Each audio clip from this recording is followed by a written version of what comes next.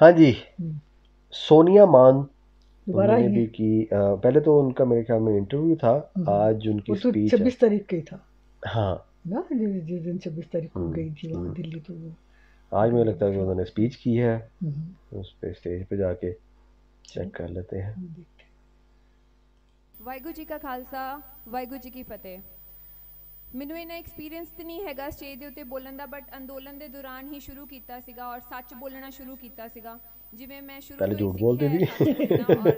ਹਮੇਸ਼ਾ ਸੱਚ ਦੀ ਲੜਾਈ ਕਰਨਾ ਕਿਉਂਕਿ ਮੇਰੇ ਬਾਪ ਨੇ ਵੀ ਆਪਣੀ ਸਾਰੀ ਜ਼ਿੰਦਗੀ ਲੋਕਾਂ ਵਾਸਤੇ ਮਜ਼ਦੂਰਾਂ ਵਾਸਤੇ ਦੇ ਦਿੱਤੀ ਔਰ ਸੱਚ ਦੀ ਲੜਾਈ ਲੜੀ ਸੀਗੀ। ਸੋ ਸਭ ਤੋਂ ਪਹਿਲਾਂ ਹੁਣ ਮੈਂ ਟਿਕਰੀ ਬਾਰਡਰ ਤੋਂ ਆ ਰਹੀ ਹਾਂ। ਟਿਕਰੀ ਬਾਰਡਰ ਅੱਜ ਸਵੇਰੇ ਸਾਡੇ ਉੱਥੇ ਕਨਵਰ ਵੀਰ ਜੀ ਦੀ ਡੈਥ ਹੋ ਗਈ। ਉਹਨਾਂ ਨੇ ਆਪਣੇ ਆਪ ਨੂੰ ਫਾਂਸੀ ਦੇ ਦਿੱਤੀ।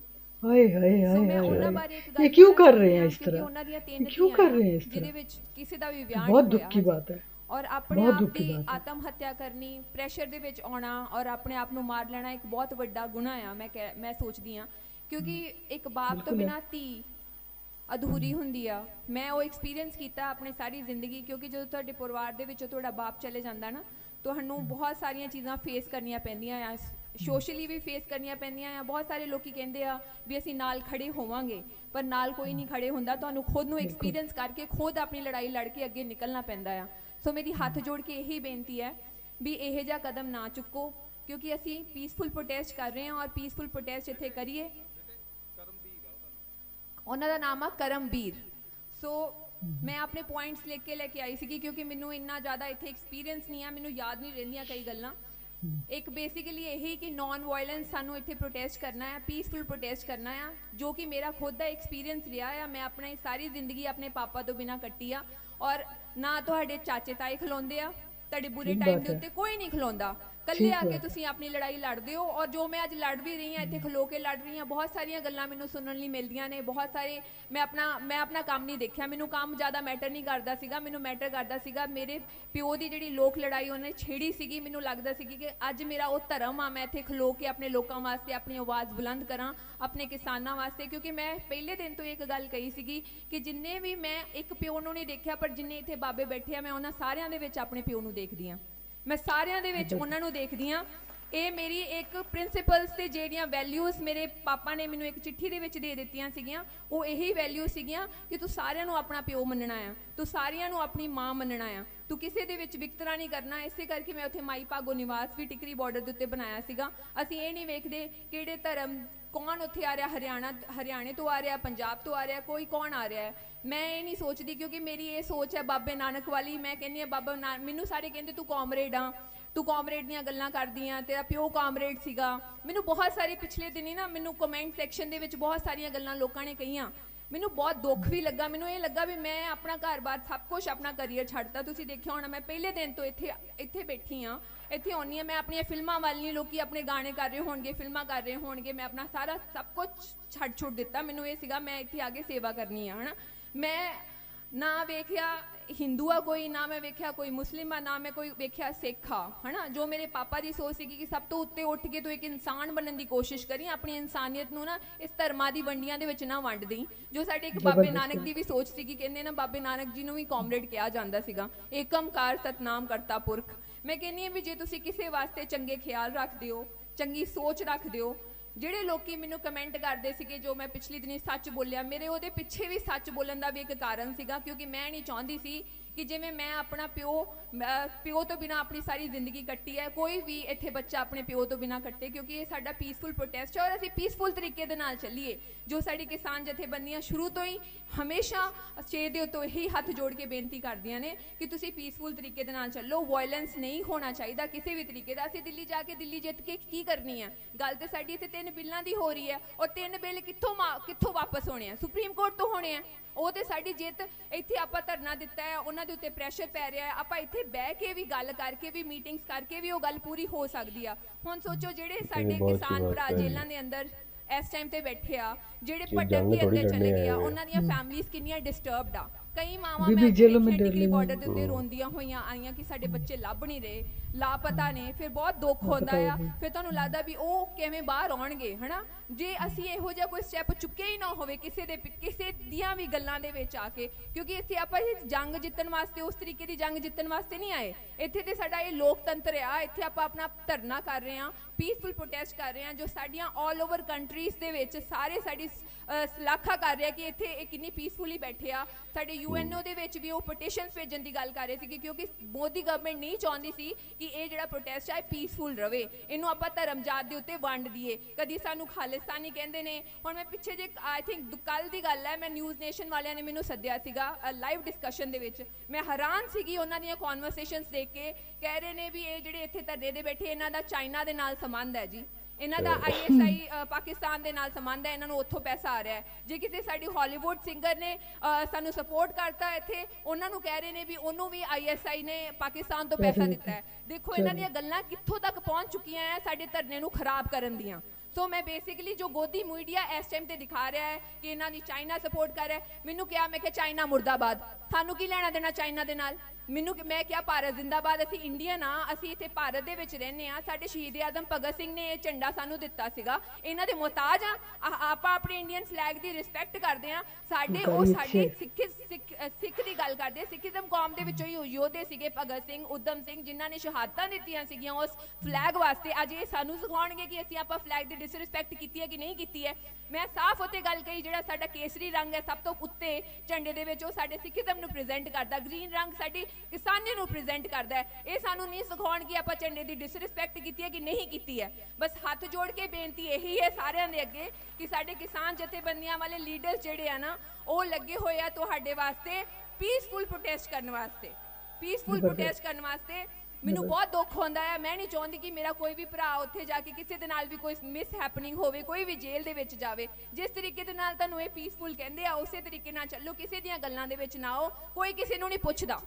ਅੱਜ ਤੁਹਾਨੂੰ ਕਹਿਣਗੇ ਅਸੀਂ ਤੁਹਾਡੇ ਪਿੱਛੇ ਖੜੇ ਆ ਕੋਈ ਨਹੀਂ ਖੜੇ ਹੁੰਦਾ। ਮੇਰਾ ਪਰਸਨਲ ਐਕਸਪੀਰੀਅੰਸ ਆ। ਵਾਹਿਗੁਰੂ ਜੀ ਕਾ ਖਾਲਸਾ। ਵਾਹਿਗੁਰੂ ਜੀ ਕੀ ਫਤਿਹ। ਹੁਣ ਤੁਹਾਡੇ ਨਾਲ ਸਤਿ ਸ਼੍ਰੀ ਅਕਾਲ। ਤੁਹਾਡੇ ਨਾਲ ਧਰਮਿੰਦਰ ਹੁੱਡਾ ਆ ਕੇ ਗੱਲ ਕਰਨਗੇ। ਹਰਿਆਣੇ ਤੋਂ ਆਏ ਨੇ ਸਪੈਸ਼ਲੀ ਟਿਕਰੀ ਬਾਰਡਰ ਦੇ ਸਟੇਟ ਤੇ ਹੁੰਦੇ ਆ। ज़बरदस्त यार बहुत अच्छा बात करी। बहुत ही खूबसूरत बातें की और अच्छी की है लेकिन आज बहुत दुख हुआ सुन के कि वो आज फिर किसी ने फांसी ले ली है। अपने आप को क्यों मारते हैं ये लोग? क्यों मारते हैं? तो जान है तो जान है जो कुछ है इध- डट के रहो। हम्म, अपने हक लेके जाओ। हैं? अपने ख़ानदान को तकलीफ़ देना अपनी ज़ात को तकलीफ़ देना अपनी जान को तकलीफ़ देना ये कहाँ की अक्लमंदी है? ये तो जो भी कर रहे हैं या जो उन्हें कोई कह रहा है कि इस तरह करें तो वो बहुत गलत कर रहा है बहुत ही गलत कर। रहा है समझ से बाहर है नहीं तो ये इतने बड़े प्रोटेस्ट में बैठे बैठे वो कैसे फांसी ले लेते हैं? कोई उनको बचाता नहीं है कोई देखता नहीं है कि वो क्या करने जा रहे हैं। कोई बचा ही ले उस टाइम पे उसको। इतनी आवाम बैठी हुई है किस पे क्या नज़र रखे और किसको क्या पता है कि किसके दिमाग में और किसके मन में क्या यानी कि बात चल रही है किस हम्म, हम्म, किस तरह से कोई देख रहा है। हम्म। हम्म, क्या कह सकते हैं? लेकिन ऐसा तो सोचना भी नहीं चाहिए किसी को भी नहीं सोचना चाहिए। कि वो अपनी जान जो है वो ज़ाया करे। कोई चीज़ जान से ज़्यादा अहमियत नहीं होती। हम्म। अपने आप को आप मज़बूत बने। हम्म, आपको ज़िंदा रहना है अपनी फैमिली के लिए ज़िंदा रहना है अपने लोगों के लिए ज़िंदा रहना है अपने आप के लिए ज़िंदा रहना है। हम्म, ये छोट चीज़ों के लिए तो तकलीफ़ें तो आनी जानी है तो ज़िंदगी ऐसे ही चलती है। जब से दुनिया बनी है कोई ना कोई हर एक को फेस करनी पड़ती है रुकावटें तकलीफ़ें परेशानियाँ। इसका मतलब ये तो नहीं है कि अपनी जान गंवा दी। नहीं एक चीज़ जो समझने वाली है ना वो ये है कि आप हुकूमत के हथकंडे देखें कि वो हरकतें उनकी देखें कि वो आपका इंटरनेट बंद कर रहे हैं वो आपके लोगों को जाके पकड़ के गिरफ़्तार कर रहे हैं वो कोशिश कर रहे हैं कि गुंडे भेज रहे हैं मारना चाह रहे हैं। इसका मत- मतलब क्या नज़र आता है? इसका मतलब ये नज़र आता है कि वो घबरा चुके हुए हैं। एक तो वो घबरा चुके हैं दूसरी चीज़ ये है कि वो इनको ये जो डिले करवा रहे हैं इतना तंग कर रहे हैं। वो भी यही है ना कि डिप्रेशन का शिकार हो जाएँगे आमदनी ख़त्म हो जाएगी और जो घर बार छोड़े हुए हैं वहाँ से आगे बैठे हुए हैं कब तक कोई अपना घर बार छोड़ के बैठ सकता है? और अगली अगली फ़सलें बीजनी है उन्होंने अगले काम करने हैं वो नहीं कर सकेंगे। तो ज़ाहिर है कि उसमें नुकसान है और हालाँकि इससे पूरे मुल्क की मीशत का भी नुकसान है।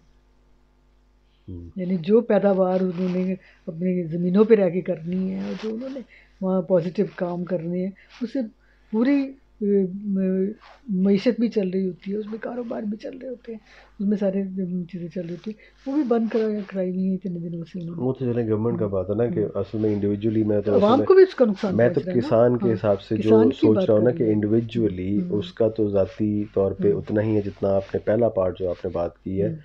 कि बेसिकली जितने भी वहाँ पे अभी गए भी हुए हैं उनमें हम्म। से कई ऐसे होंगे जिन्होंने कर्जे उठा उठा के हाँ, अभी तक यानी कि कितने ही कर्जों में दबे होंगे हम्म, हम्म, ठीक है जो उठा के यानी कि उन्होंने। फ़सलें लगाई थी जो कि अब जिनमें से वो अपने लिए अनाज लेके आए हैं जो वहाँ पे कह रहे हैं कि बैठे हुए हैं अभी भी जो छः छः महीने का वो कहते हैं इकट्ठा करके आए हुए हैं।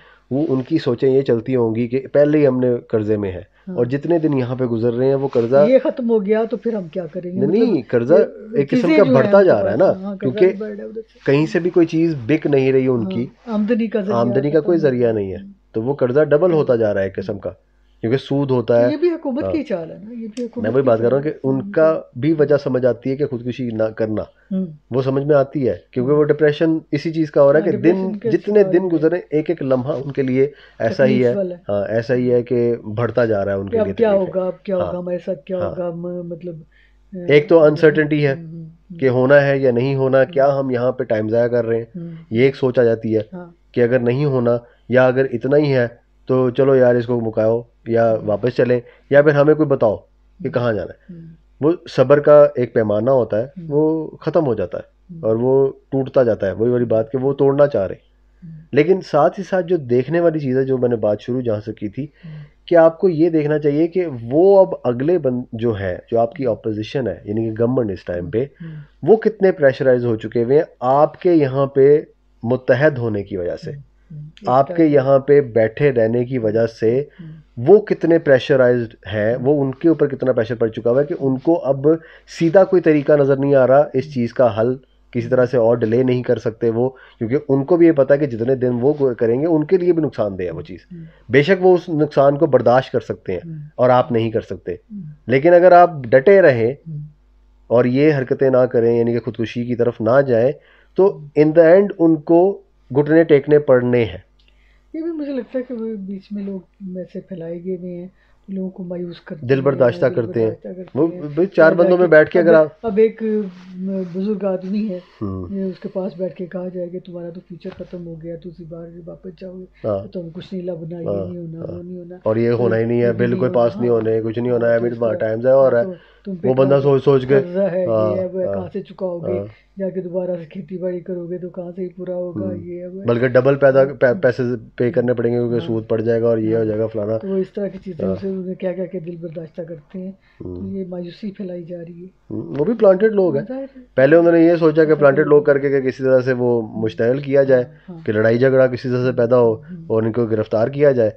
उन्होंने देखा वो कामयाब नहीं हो सका वो भांडा फूट गया क्योंकि मीडिया आजकल अच्छा है। अब उन्होंने अंदर वो जो एक किस्म का ना इस तरह की चीज़ करना चाहिए कि वो डीमोरलाइज करके इनको हाँ अंदर अंदर ब्रेन वॉशिंग।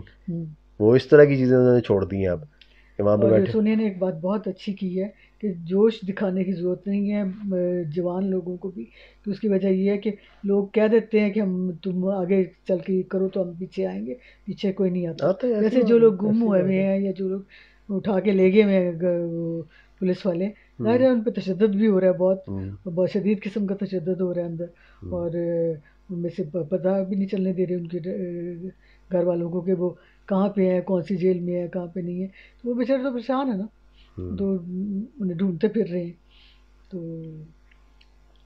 बहरहाल अल्लाह उनके हाल पे रहम करे जितने भी वहाँ लोग हैं हम्म, जिन जिन मसाइल में हैं अल्लाह उनकी मुश्किलें जो हैं वो आसान हों और उनके जो है ये बिल वापस हों वो खैर खैरियत से अपने घरों को जाए।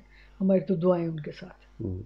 हम लोग तो दुआ कर रहे हैं बाकी आप लोग भी कोशिश करें जितना इस चीज़ को अपने आप को थोड़ा सा संभाल लें और कोशिश करें कि इस तरह की जो- भी लोग अगर आपको आके इस तरह से बातें करते हैं तो उनको एक तो ध्यान ना दें। अगर ध्यान अगर उनको नहीं अपनी तरफ़ से यानी कि हटा सकते उन लोगों को तो कम से कम यानी उस बारे में सोचें ना।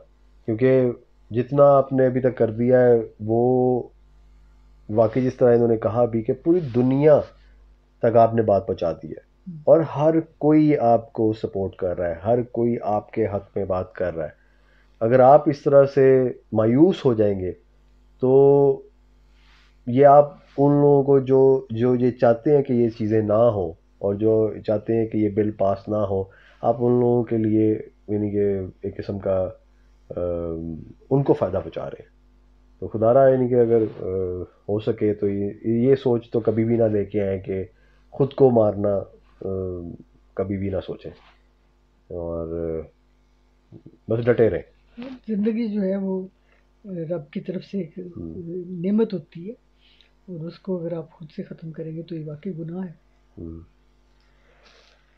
चले इसी दुआ के साथ कि सब कुछ जल्द अज जल्द ठीक हो जाए हो अ, ताकि जल्दी होगा तो मायूसी खुद ब खुद ही ख़त्म हो जाएगी। ज़ाहिर है जितने लोग जितने दिन ज़्यादा गुजर रहे हैं समझ सकते हैं हम कि मुश्किल है वहाँ पे रहना। तो उम्मीद करते हैं कि जल्द अज जल्द ये सब कुछ ठीक हो जाएगा और आप खुशी खुशी घर जाएँगे। इसी के साथ लेते हैं इजाज़त। मिलते हैं अगली वीडियो में तब तक के लिए अपना ख्याल रखें दुआ में याद रखें। अल्लाह हाफ़िज़।